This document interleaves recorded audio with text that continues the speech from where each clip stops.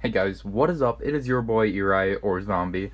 Today I have an unboxing of the film La La Land. This movie won six Academy Awards, aka Oscars. Um, this is the Best Buy exclusive steelbook. Um, there's the back, Ultraviolet and iTunes. Those are the Blu-ray exclusives. Yeah.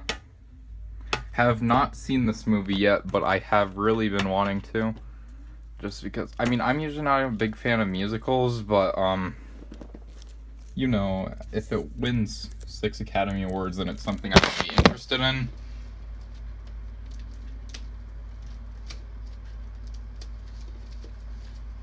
Hopefully it's good. According to Chris Stuckman's review, which is honestly the only reviewer that I care about, for movies at least, he gave it, I believe, an A, or was it an A plus? I don't remember. But anyways, okay, so here is the nice cover. Now let's get the J card off. I try to keep these J cards nice now. Okay, here is the back. Here's to the fools who dream. I like it.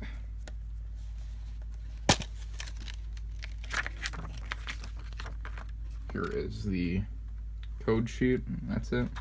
I really like this art, honestly. Jeez. Okay. This is really, really nice. Okay. So here are... Oh, wait. Oh, that's kind of cool how it kind of matches up. But anyways, here is the disc art. This is the DVD. This is the Blu-ray. So let's pop these out and see the inside disc art. So we got them dancing there, and then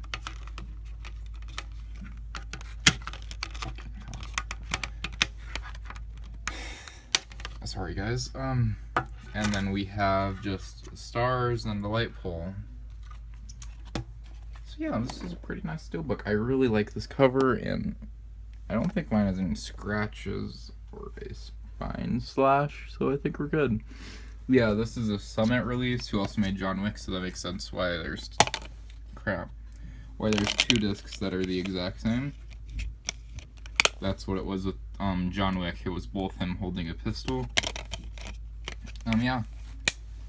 So yeah, um, this was a pretty good release. Um, probably gonna watch this movie, not tonight, but I think Friday or Saturday, because I'm watching every Marvel movie up till Guardians of the Galaxy 2 releases. So yeah, if you enjoyed this video, don't forget to drop a like below, subscribe, favorite, and have a good one.